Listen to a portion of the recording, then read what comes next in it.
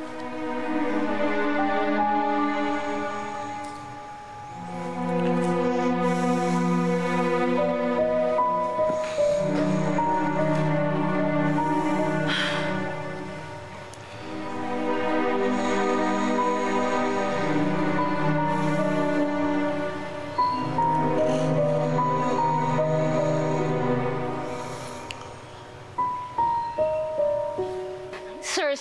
Sigurado ho ako na sinarado ko ho yung gate. Eh, alam ho yun ni Nanay Lorena kasi nakita pa nga ho niya ako na pinadlakan ko ho yung gate.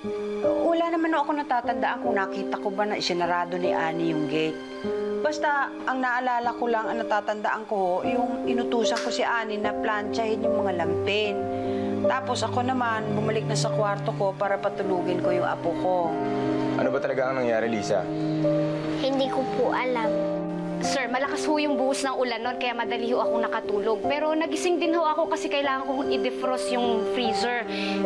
Pagbangon ko ho, nagtaka ko kasi may biglang kumakatok ho sa pintuan eh. eh nagtaka naman ako kasi sino naman ho kakatok sa pinto? Eh nakasarado naman ho yung gate. Kaya binuksan ko ho yung pinto.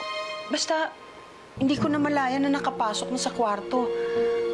Ah, ba, paglingon ko, nakatutok na yung baril ni, ni Daisy sa akin. Nanlaban ako, gusto kong agawin. Pero, inampas niya ako ng baril eh. Wala na ako nagawa kasi yung apo kong maliit, binabantayan ko, eh, baka masaktan eh. Tulog na tulog po ako nung nangyari yan eh. Eh pagkabukas ko ho pinto, nakaumang na ho yung baril ni Daisy sa akin. Tapos sinunggaban na ho ako ng lalaki. Tapos tinali ho ako dyan sa upuan ho, dyan ho sa labas ho. Eh hindi ko na ho alam kung ano nangyayari dun sa loob. Nang, nang dumating si Flor, nakita niya yung tutok-tutok yung baril sa amin nung apo kong maliit. Kaya sabi niya, sabi niya kay Daisy, kusa na lang siyang sasama para wag kaming saktan ng apo ko. Ayun. Kinuha siya ni Daisy. Wala po ako nadidinig. Di ko po alam nakapasok na pala si Teacher Daisy. Tapos ho, maya-maya lang, lumabas na ho sila, dala-dala ho nila si Flor. Sinakay ho nila doon sa van na gamit-gamit nila, tapos umalis ho sila agad. Tapos dumating na ho si Ida tsaka yung nanay niya. Yun ho yung tumulong sa akin kalasin yung tali ko. Pumasok po dito si Lola tapos sinabi kung okay lang ako. Sigurado ko ba sinasabi mo, Lisa? Opo, wala po akong alam. Bulag ako, di ba?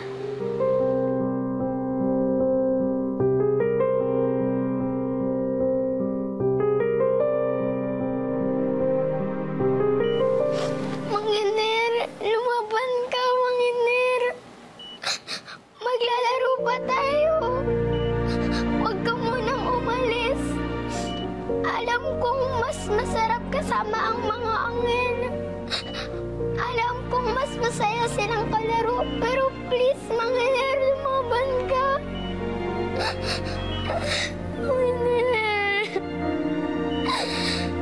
yang kamu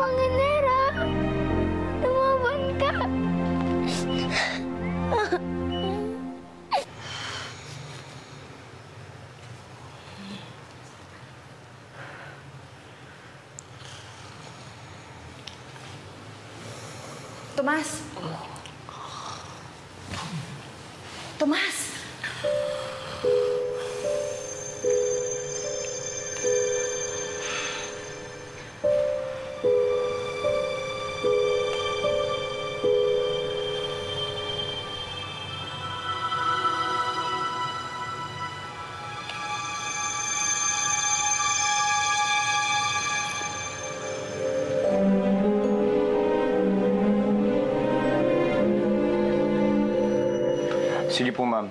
Babalitaan na lang po namin kayo kapag na-evaluate na lahat ng impormasyon at natapos ang kasong to. Salamat.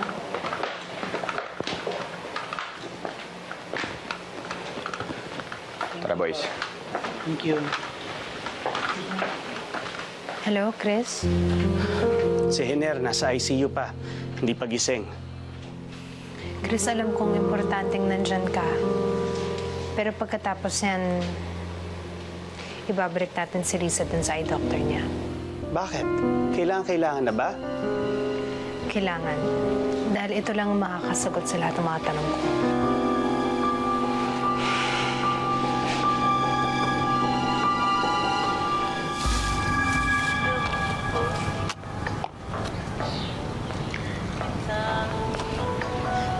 Ah, ate, et eto nga pong bulalo. At saka po, biskuit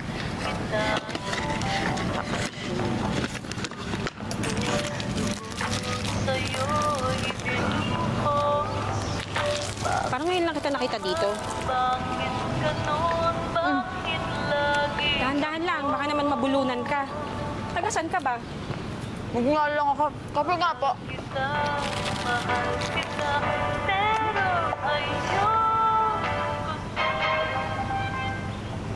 Sa ulo na nagbabagong balita, rescue na ganap sa may kalumpit Bulacan. Kinidnap ang anak ng isang kapitan sa AFP na sinasabi nilang obsessed sa bata na teacher nito. Ilang beses nang nagtangka ang sinasabing suspect na pinangalanan namin si Daisy Hizon at ang kasabot nito na si Tomas Badrio. May ilang araw na tinutugis ito ng Consolidated Forces ng Kapulisan, MMDA at Airport Security. Pagkatapos ng lahat ay isang madugong enkwentro sa kalumpit na kung saan ang isang Hener de Jesus na kapamilya ng bata ay nabaril. Suspect at kasalukuyang pinaghahanap ngayon. Sinasabing ang mastermind na si Daisy Hizon ay nakatakas sa kulungan ng mga baliw sa parehong pagkakasala.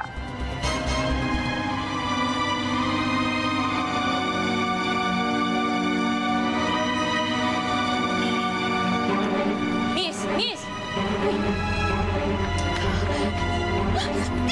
Tiwan mo ko! Ano ka ba? Kailangan ko yung bayad mo.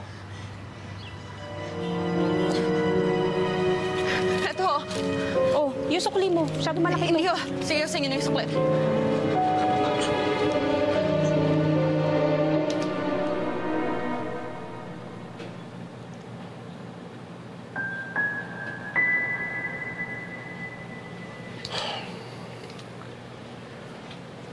Lisa? Kailan ka pa nakakakita? Po, Matagal ka na pala nakakakita. Hindi mo lang sinasabi sa magulang mo. Pa. Po. Dok, sigurado ka ba? Oo.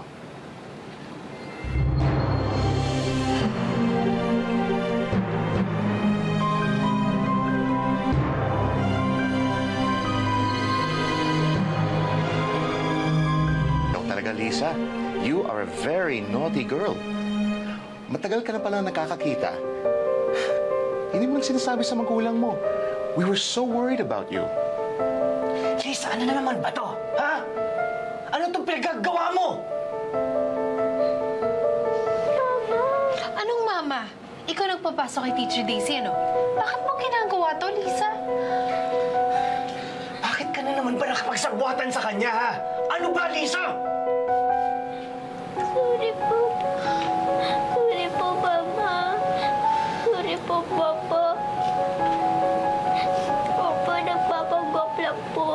Vlog. Kasi po gusto ko lang naman po ng pansin eh, tsaka importansya. Pero binibenta niyo po sa akin na ako nagpapasok kay Teacher Daisy.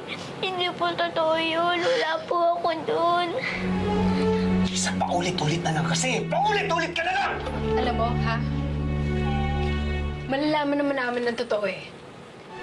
Yung CCTV camera malapit sa bahay, yung mga polis iimbestigahan nila to. Kaya kung ako sa'yo, Lisa, sabihin mo na yung totoo! Umami ka na! Hindi nga po eh. Wala nga po alam doon. Umamin ka na, Lisa! Excuse me. Kung may problema kayo sa pamilya, not in my office, okay? Ag huwag huwag niyo muna paiiyakin si Lisa. Please. Hello? Ah, okay. Si sige. Si sino nagpunta dyan? Sige, sige, pupunta ako. Doc, I'm very sorry about that. Halika na. Halika na. Halika dito. Tomas! Tomas! Tomas! Ano? Pinaghahanap na nila tayo. oo naman. Eh, nadinig ko dun sa radyo eh. Eh, saan ka ba galing? Doon sa may tindahan. Eh, nagutom kasi ako eh. Kahapon pa tayo hindi kumakain. Doon ko narinig yung radyo na hinahanap na nila tayo. Eh siguro pati itsura natin nakita na sa TV. Eh, huwag ka na nga lang muna lumabas dito. Ako na lang muna. Magmamatsyag-matsyag ako. Ayoko maiwan mag-isa dito. Eh hindi naman pwedeng palagi tayong magkasama dahil mas mabilis tayong mahuhuli. Dito ka na lang, babalik ako agad. Huwag ka na munang lalabas, ha? Dadala na lang kita ng makakain. Tatakot ako. Diyan ka lang.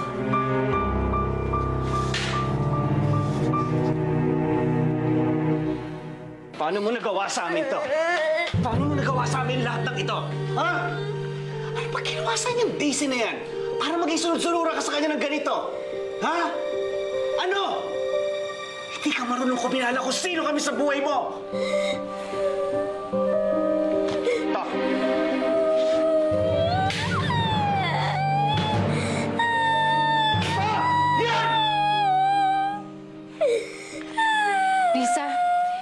Na to katwiran ng isang batang nagsiselos. Hindi na to katwiran ng isang batang niloko o nagkaroon ng kahati sa pagmamahal namin ang rason mo. You're evil. Masakit to para sabihin ng isang ina sa kanyang anak. Simula dito hanggang sa pag-uwi natin, makikita mong pagbabago ng buhay mo. Dahil ako mismo gagawa nun. Ako mismo gagawa nun!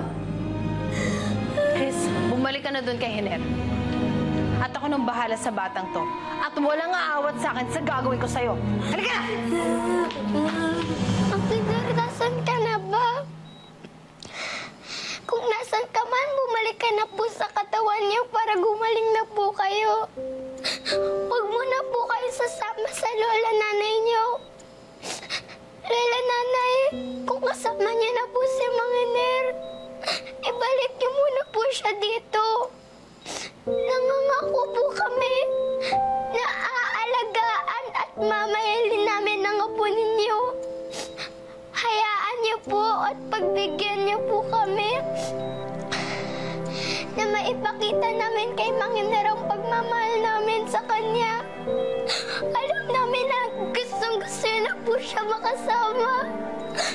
Alam namin na mahal na mahal niya po siya.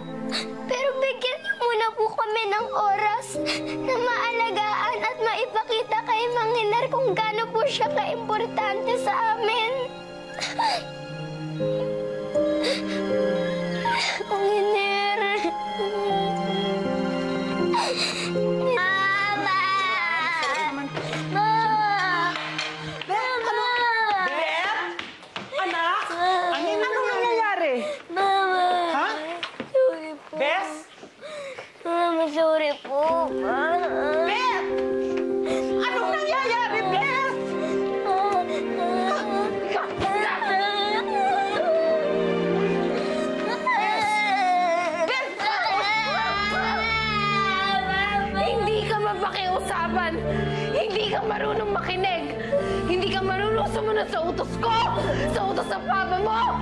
Utos ng mga nakakatanda sa'yo dito. Lisa, hindi ko na kaya. Hindi ko na kaya ang kasalbahihan mo, ang katigasan ng ulo mo. At ayoko nang masaksihan pa kung ano bang kaya mong gawin sa mga inosenteng tao na nandito sa pamamahay ko.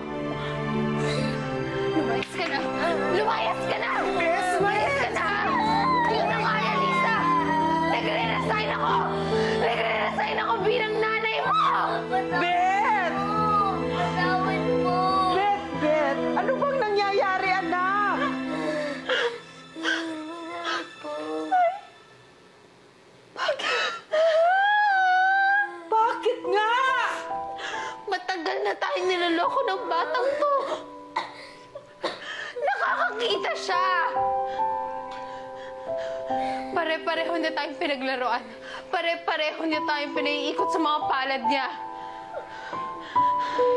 Nay, ayoko na. Hindi ko na kaya.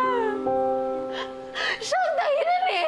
Siya ang dahilan kung bakit nakapasok si Daisy sa pamamahay natin para makuha niya si Flor. Siya ang dahilan sa lahat ng mga kaguluhan at kamalasan sa pamamahay na to. Ayoko na na, hindi ko na kaya.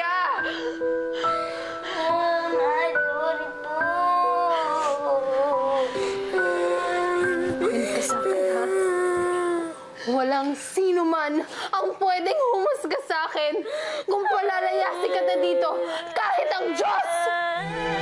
Hindi ko na kaya na sobra ka na, Lisa! Sobra ka na! Huwag isang pipigilan. Hindi makakatulong sa kanya yan. Alam ni Beth ang kanyang ginagawa. Kung ang kanyang ina na nang galing sa kanya sumuko, hindi tayo para umalo sa ganyan kasalbahing bata.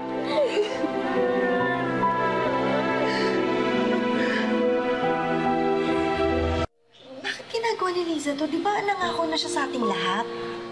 Gusto kong kumprontahin Ida eh. Pero natatakot ako sa pwede kong magawa. Hindi pa rin naman ako sigurado. Matapos ng lahat ng ito, ako mismo huhuli sa mga ginagawa ng anak ko. Santo, huwag mo naman sabihin na hanggang ngayon eh, ayun pa rin yung issue ng batang yan tungkol sa inyong dalawa ni Florida. Hindi ko alam yung tumatakbo sa utak ng anak ko ngayon. Pero andun yung si Beth. Binabantayan niya lahat ng kilos ni Lisa. Bakit hindi nyo rin tanungin? Baka sakaling alam niya kung saan nagtatago yung DC na yon. Para sa ganun, mabawas-bawasan yung kahit kunti lang yung inaalala natin lahat, di ba? Ano ka ba naman, Buslo? Kahit nadikdikin mo yung batang yun, hindi aamin yun. Saka na lang natin harapin ang problemang ito. Nandito tayo ngayon para kay Hener. Magdasal na lang tayo.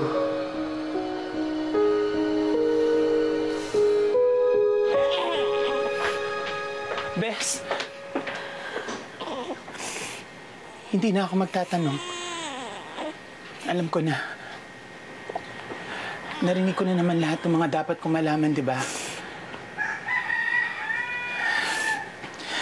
Pero grabe yung anak mo, Bes. Nakakakilabot.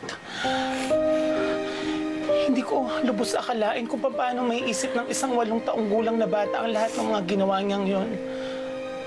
Bes, paano pa paglaki niya? Kung ganyan ang nararamdaman mo bilang ninong niya, ano pa kaya ako bilang ina niya? Dati lagi kong sinisisi yung sarili ko na baka may mali akong ginagawa o sinasabi o nakikita niya para magkaganin si Lisa. Pero ngayon, alam ko wala akong kasalanan. Alam ng Diyos na naging mabuting ina ako para sa Kanya. Pero sadyang salbahe lang talaga yung batang yun eh. Hindi ko alam kung kanino siya nagmana. Siguradong hindi sa akin.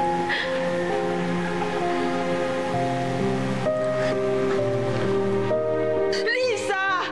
Bakit mo nagagawa ang lahat ng ito? Ha? Sino nagtuturo sa'yo? Saan mo to nakita? Itong tanda namin to, Lisa. Lolo at lola mo kami, nanay at tatay mo, pinaniwala mong bulag ka. Hindi ka bata. Hindi kayang isipin o gawin ng isang bata yan. Kaya kung umaasa ka na dahil sa pagpapalayas sa'yo ng nanay mo ngayon ay kukunin ka namin, Saan po pupunta? sana naisip mo yan noon pa bago mo niinisip lahat ng kasalbahihan mo. Kung naging tuso ka na paglaruan kami lahat, mas kakayanin mong isipin kung paano mabuhay sa labas ng bahay na ito. Halika na.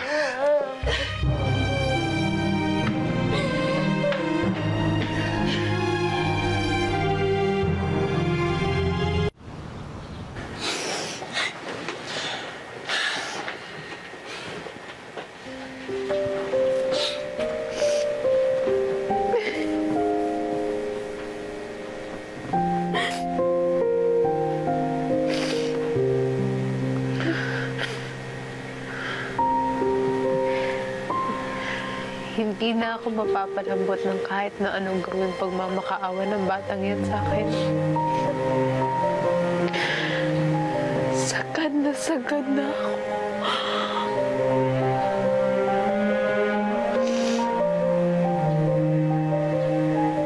Hindi ko anak si Flor. Hindi ko siya tunay na anak. Pero wala na akong mukhang ihaharap kina Ida dahil sa kasalanan ginawa ng anak ko. Kita, anak. Naintindihan kita at naniniwala ako. Susuportahan kita sa lahat ng balak mong gawin para sa anak mo.